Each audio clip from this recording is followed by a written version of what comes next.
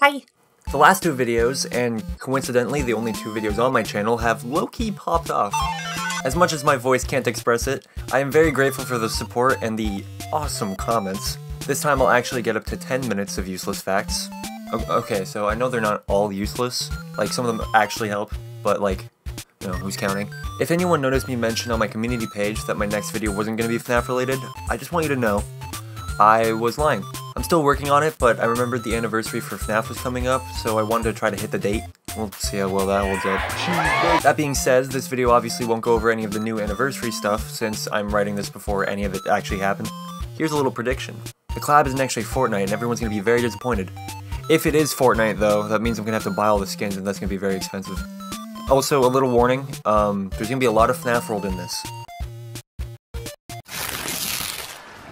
I'm the old Norm. I want normal beer. When getting jump scared by Chica in FNAF 1, there's a weird stripe from the door behind her that stays still during her jump scare, cutting off part of her arm.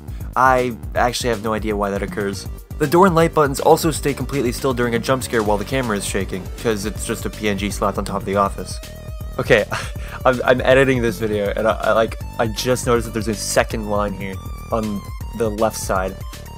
There's like a little corner that cuts off her like feathers or whatever on the top of her head. I did not notice that at the beginning. Phantom Mangle actually has two different loading screens in FNAF World, one referring to them by he and the other referring to them by her. In fact, gender confusion seems to be a common trend with the Mangle line of animatronics. Mangle is famously referred to by both he and she in the games, usually right next to each other. For example, UCN's description of Mangle says, once Mangle reaches the vent opening, he will never leave. Use the vent snare to prevent her from making it that far. There's also the Steam post of Scott referring to her gender as yes, while Mangle is referred to as he and she in UCN, the other forms of Mangle, Phantom Mangle, Nightmare Mangle, and Funtime Foxy are all referred to as he. Funtime Foxy is special though, as even though he's usually referred to as he, the dialogue from Hand Unit and Sister Location says both. Let's check on Funtime Foxy. Make sure he's ready for showtime tomorrow. Let's check on Funtime Foxy. It's important to make sure she's on her stage before entering. Even though it's free now, you can still download the FNAF World demo off of GameJolt. It never got updated to version 2, so you get to experience all the cool features like an Atari graphics styled map, half of your screen being pitch black, and not being able to move in two directions at once. All of the Clickteam FNAF games have a couple keybinds like Control S that will toggle all the sounds that are playing off. Oh, Bunga, I miss you. That one isn't as useful in my opinion as hitting F2, which will instantly restart the game back to the main menu. I get a lot of use out of this one while playing FNAF World, cause like, every ending forces you to close up the game, so it saves me a precious 5 seconds that it would take to open up the game again. If you're lucky, Yenndo can appear in the Funtime Auditorium during night 3 or sister location. You couldn't torture me into trying to get footage for this, so here's an artist's interpretation of what it would look like. Lolbit hasn't been in too many games, mainline ones that is. That includes FNAF World. But even then, their design is pretty interesting to look at over all of them. Starting in FNAF World when they were first introduced, they were pretty much just a full recolor of Funtime Foxy, orange and purple instead of pink and red, and black eyes with white pupils. Other than that, they're basically identical. They returned in Sister Location as an easter egg in the Control module, and as an enemy in the Custom Night update. Lolbit again is a recolor of Sister Location's Funtime Foxy, but isn't one-to-one -one like FNAF World. There isn't much to go off with their Sister Location design as they have no body and are only a head, but even then you can see that they're missing the eyebrows that Funtime Foxy has. They also seem to be missing parts of their endoskeleton, missing their endo jaw and eyelids. While there isn't a full body render of Lolbit's design in Sister Location, there actually is a Funko figurine of them. They have the same thing going on like in FNAF World, where everything pink and red on Funtime Foxy is orange and purple on Lolbit, including eyebrows which Lolbit hasn't had up to this point. There's also the obvious thing to point out which is that Lolbit kept their hook from FNAF World. The next game that Lolbit shows up in, not including UCN, is Help Wanted 1, where Lolbit has a full model for the first time. First thing to say is that while they do have eyebrows, they're painted the same color as the rest of their head, and it makes me wonder why they didn't either paint them orange or delete them entirely. Lolbit's fingernails and hands are also white instead of orange to mirror how Foxy's hands look. This kind of makes Lolbit's model in this feel a little unfinished in my opinion. Toy Bonnie's textures are very subtly broken in Help Wanted 1. From the outside he looks fine, but in certain lights you can see these small little lines across his body. What's happening is, while his base color textures are fine, his ORM map, some nerd shit, don't worry about that, doesn't fully match up with his base colors as it's supposed to. More specifically, it's the roughness map that's the problem. You can see Bonnie's face is still there, just overlaid with all these lines. Now, you might be thinking, hey, those lines right there look familiar. Is this just a different texture overlapping Bonnie's? And you would be correct. The texture overlapping Bonnie's roughness map is actually Mangle's. Here you can most prominently see their ear shape and what I think is Mangle's foot. I'm not totally sure. Lefty is more than just a color-swapped mirrored version of Rockstar Freddy.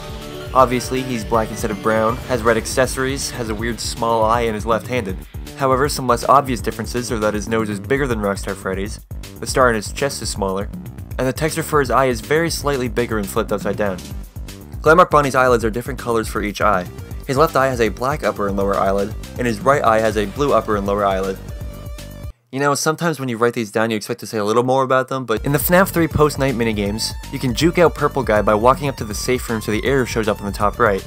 that is most definitely not the top right. Then quickly walk out of the room to the left and you'll see Purple Guy clip through the wall to dismantle you. Also, just a little side note, in the Happiest Day minigames, you can clip through the bottom of the balloons you platform on as some epic sauce speedrun tech. To be honest, I'm not sure if this is just a bug for me, but turning on the flashlight at the closet doesn't make a noise. It only makes a noise when you turn it off. Sister Location's Extras menu shows off what a few characters looked like before their designs were finalized. Funtime Freddy was originally white and pink, colors that you'd find on Funtime Foxy's final design. Bonbon was nowhere to be seen, and he had four buttons instead of two buttons and a large speaker. His eyes were also this weird realistic texture, before it was changed to a slightly more cartoony one. Foxy wasn't changed much. He was originally white and purple, colors that you'd find on Funtime Freddy's final design. Outside of that, the only thing added was his bow tie and the more cartoony eyes like Funtime Freddy, although they did start it as green before being changed to yellow. The only noticeable thing about Baby's work in progress pictures is that her hair started as brown, before it was changed to being half orange, half red, then to fully red as it is today. Also, one more thing about the extras menu. Hovering your mouse over the bottom left will let you play the baby minigame whenever you want. I'm pretty sure it only shows up if you've played it already, but I'm not totally certain on that. If Golden Freddy spawns in your office in FNAF 2, he can't attack you if you aren't moving or flashing your light.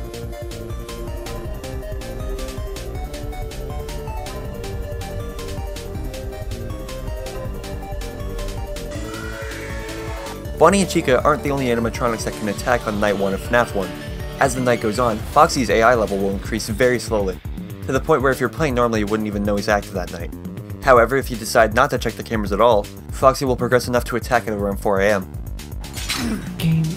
Nightmare Balloon Boy has two jaws, which is famously one of Balloon Boy's core design features. What's special about his second jaw, or rather what's not special about it, is that it's just his main jaw but scaled down to fit inside his mouth. The texture on the outside was also made the same as the inside of his mouth, so it doesn't look weird.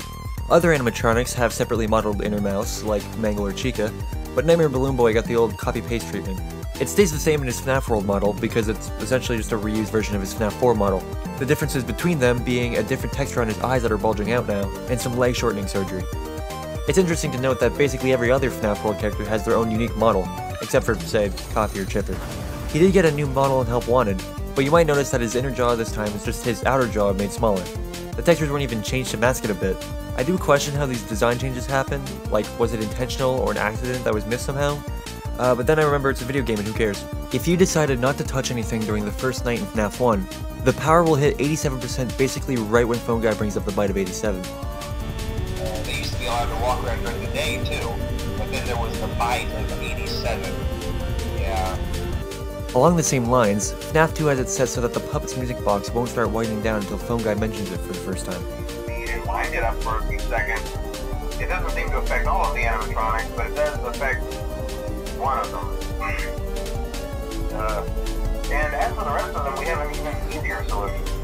You see, there may be a minor glitch in the system. In the trailer for FNAF 3, as the Springtrap jump scare plays, you can notice in the background that the fan is behind the glass instead of being on the table. Also in FNAF 3 itself, Phantom Mangle is the only animatronic not to show up in the extras menu.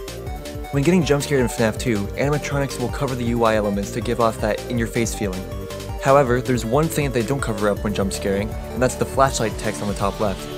The first few games in the series had some weird aspect ratios. The first game was in 16 by 9, which is fine, but because the game is so low res and forces full screen, it absolutely destroys my other monitor when I open the game and I have no way of showing this and I'm praying for it to get fixed someday, please! FNAF 2, 3, and 4 are all actually in 4 by 3 which you may not have noticed if you've played it because they're all stretched to 16 by 9 on Steam. FNAF 2 is probably the most obvious of the three, as a lot of the textures look really stretched. FNAF 3 and 4 don't really have that stretched look to them. When Sister Location came out, it was made specifically for 16 by 9 and so were the rest of the games going forward. Pretty much every minigame in the series has these lines over the screen to mimic playing on old hardware. You might think it's some cool epic effect that he put over everything, but it's actually just more or less a PNG of striped lines overlaying everything. That's why it's not always pixel perfect. On that note, one of the images shown during the ending cutscene of FNAF 6 is the Take Cake to the Children minigame without the arcade filter over it. Now that the filter is gone, you can see this tiny gap in the top corner that's invisible with the arcade filter over it. I hope you enjoyed these useless facts. This will probably be the last useless facts video for a while, mostly because I've nearly run out of stuff I know. The next videos I'm working on are the Every Bonnie and FNAF video and a video about ULTRAKILL. Not sure which one will end up coming out first, so you'll just have to wait and see. I don't have a funny bit to put in the outro for this one, so... Bye!